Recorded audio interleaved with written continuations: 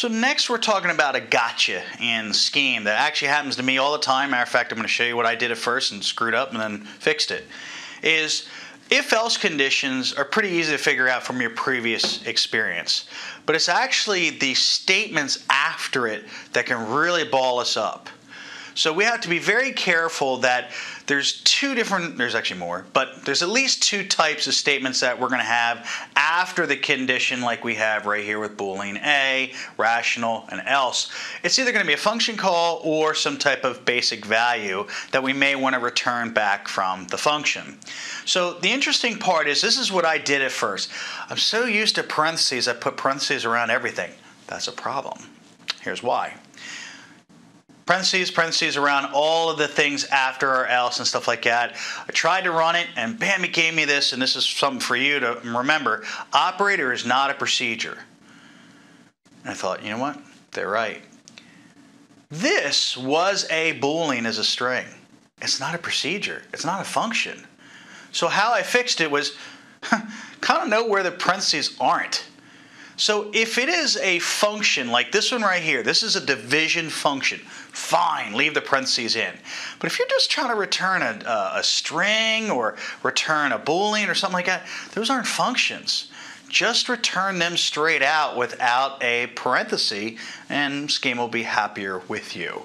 So notice I did this exact same thing, the same as the left side and right side, worked perfectly.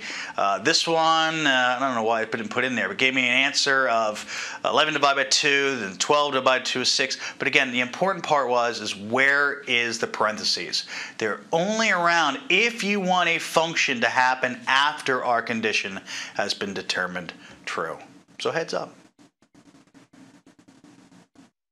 So now we're moving to our if kind of else conditions here.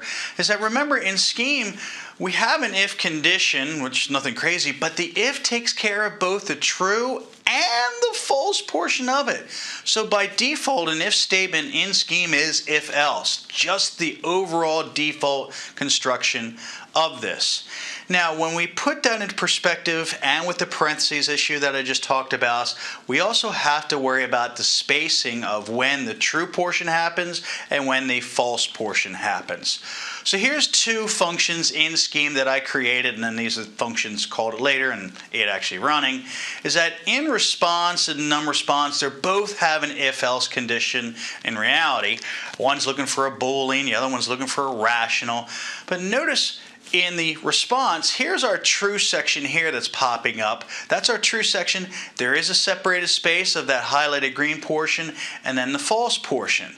Now, notice there's no parentheses in any of that because, well, this is going to return a string and this is going to return a string. We just talked about if it's not a function, doesn't need parentheses around it. In the num response, we do have a function. It's going to be a multiplication function, receives a value, multiplies it by 10 for some reason. But that is for the true section.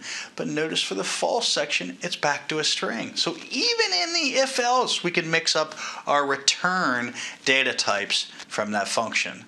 So be careful in the overall structure of the true and false, which that's the easy part, but understanding that space in the middle and when to use parentheses are all very, very important.